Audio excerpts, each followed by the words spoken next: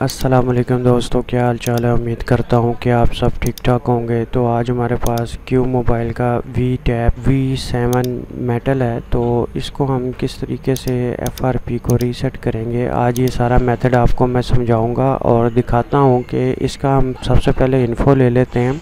तो इन्फो में ये हमें क्या दिखाता है, इस चीज़ को हम लोग देखते हैं। तो यहाँ पे हमने इसका सबसे पहले टैप को ऑफ़ कर देना। ऑफ़ करने के बाद आपने डायरेक्ट यूएसबी की केबल लगानी है। अगर आपके पास ऐसा कोई इशू आता है तो आपको टेंशन लेने की ज़रूरत नहीं है।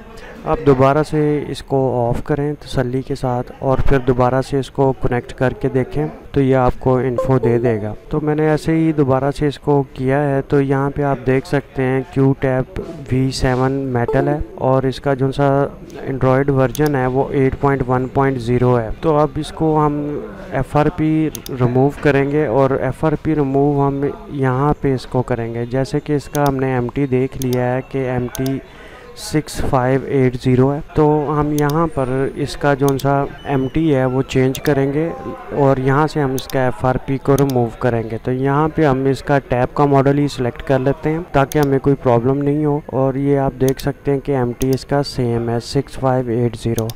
तो यहाँ पे हम एफ़ आर पी रीसेट पे क्लिक करेंगे तो रीसेट एफ़ आर पी पे हम जैसे ही क्लिक करते हैं तो हमें वही मेथड को यूज़ करना है। मोबाइल को पहले ऑफ़ कर लेना है और उसके बाद आपने पीसी के साथ इसको कनेक्ट करना है। तो जैसे ही हम इसको कनेक्ट कर लेते हैं तो थोड़ी देर में ये हमारा एफ़ आर पी को भी रीसेट कर देगा और अगर हम इसको फैक्ट्री रीसेट करना चाहते हैं तो वो भी हो जाएगी। तो आप यहाँ पर भी देख सकते हैं कि हमने मॉडल कोई और सेलेक्ट किया है और हमारे पास Q tab V seven metal का इन्फो दे रहा है और वर्जन भी 8.1.0 ये दे रहा है। तो इसी तरीके से हम इसको फैक्ट्री रीसेट भी कर लेते हैं और फैक्ट्री रीसेट करने के बाद हम इसको एक्टिव कर देंगे।